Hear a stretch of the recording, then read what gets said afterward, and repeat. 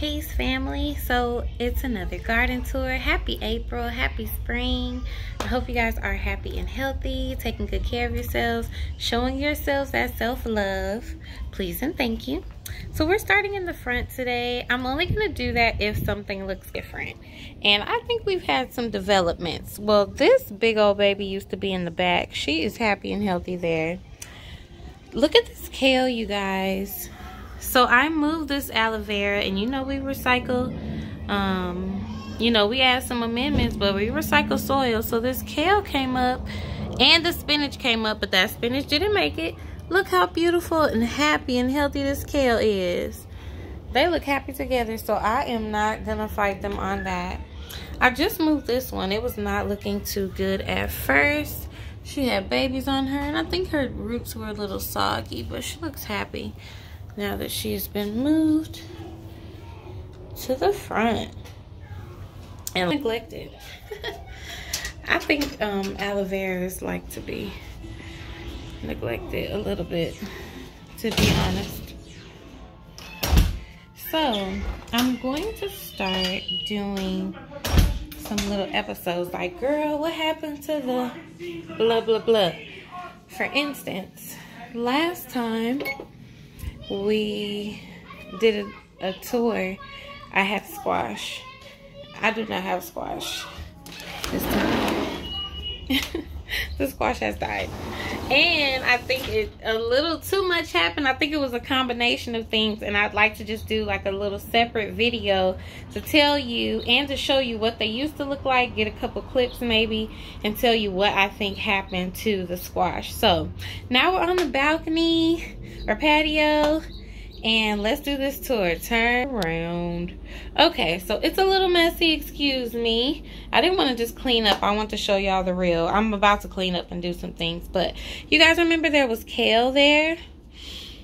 Some of those kale are down the hill. We moved them um, down the hill. There's a place where we see homeless people camp at or near so we're hoping to leave a little bit of our garden for them so here's the big planter with the avocados. It's getting some new growth, new life. Both of these are at the top. They're looking so good. I got sweet potatoes that have been really stretching it out and spreading over. This is one of the kale from the corner. And these are sweet potatoes too. They have not really been spreading out even though they look healthy. So I just put more dirt. I kind of mounted more dirt on a part of the stem that was low and I'm hoping that it sprouts some more. Down here we got one little lonely beet still in the fish tank. We'll see if he grows. I keep I'm still watering him. That's empty. There was a pepper in there. I'm letting go of these eggplants, y'all. I think their growth was stunted. They just been through too much. That's how I feel. Unless tell me do eggplants grow like snails because they've been tiny. This is an avocado that just needs to be prayed about. And him too. So we praying on them. We cut we keep cutting the brown off and praying. this is a baby pineapple guava. I took a seed out of a fruit I took a couple, but this is the only one still here. This lettuce got too much sun. I just moved it in this planter with a pepper, which I shouldn't have because they're different. This one is an overwintered pepper from last year. The lettuce was doing fine, but it needed more space for the roots. And I put it in this planter and I had it turned this way where it got a lot more sun. So hopefully he can recover. He's in the shade now.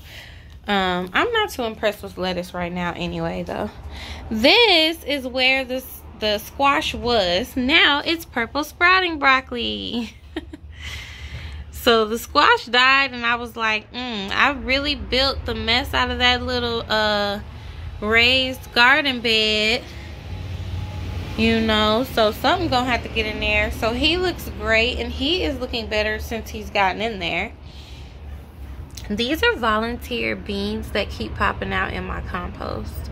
So if they want to grow, I'll just give them a space to grow. These are baby aloe veras. Okay, so look at Diva. She's looking beautiful and bushy, mostly at the top. She's making all these different color flowers and stuff. But, oh, she's looking rough at the bottom. I think she just needs a new pot.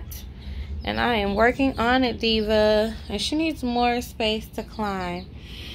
So, she doesn't have powdery mildew. Amen. And I think she's still mostly happy and healthy on her throne. This is Maya, the Meyer lemon. My daughter named her, and she looks like she wants to make some lemons. I think she's probably too small to make as many as she's trying to make. So I'm thinking maybe I should thin her out soon. You guys let me know if you know.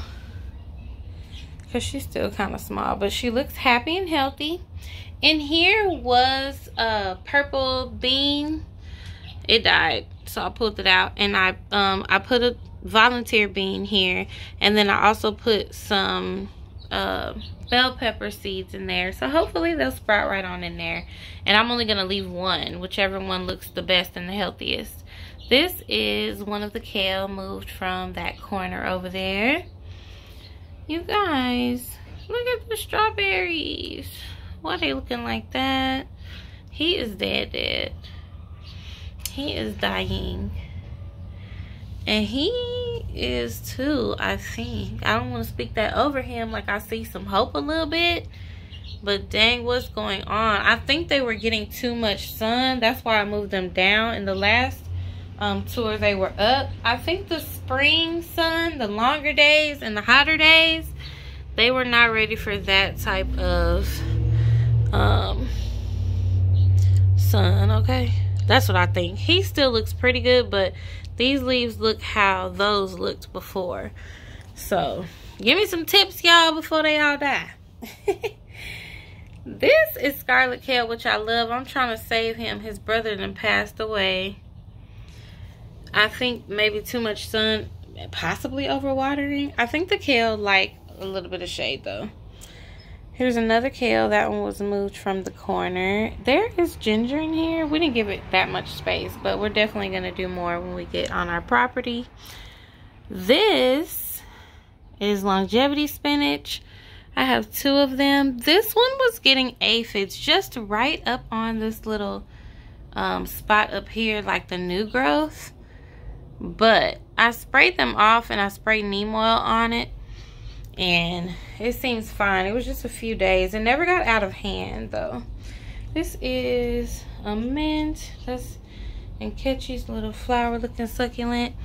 Here's a spinach. Okay spinach i apologize y'all remember i was talking all that mess about spinach from seed don't want to grow he shall not be moved this one has been moved he looks happy and healthy i moved this planter over here to get a little more shade those two are um, kale that were in the fish tank. Okay. We've got carrots, kind of. I don't know if they're getting any bigger. But if you can see, that is a carrot. I just don't know if they're growing, but they're coming out when we move regardless. This broccoli looks good. I'm definitely going to need a lot more broccoli plants um, at when we get our house because my kids won't even let this broccoli grow, y'all. So most of this broccoli is going to seed now. Look how tall it gets when it's going to seed. This one I have been letting go to seed, but we were still kind of munching off of these other ones. But he wants to go to seed. He wants to go to seed. He want to go to seed back there. He's the only last of the Mohicans there. So these, I think, are going to get a little bigger and then turn brown and I'm going to get the seeds out of there because we really liked that broccolini so I want to grow more. These kale look so happy and healthy. These were moved from the fish tank. And check out what a little bit of building up some soil, giving you some uh, root space will do. They look so happy and healthy. And I think pretty um, good size compared to what size they were last garden tour. Okay, y'all, these are the carrots from seed. Look, I feel like they trying to do something. I feel like you trying to make a carrot patience is a virtue. Amen. I got some lettuce over here. I'm not too impressed with lettuce right now. Maybe I should try to grow a different kind. But it looks cute. It's okay. Gardening is a lot of work. So it's like, do I, I'm going to need to love you to be doing all this work. And I don't know if I love that lettuce.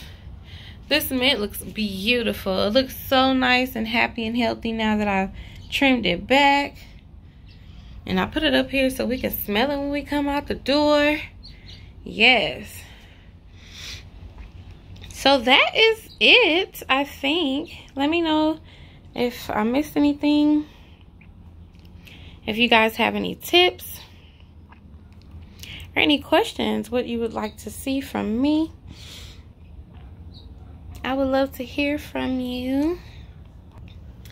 I appreciate your interest. I appreciate you connecting with me and coming into my little sacred space, my little garden.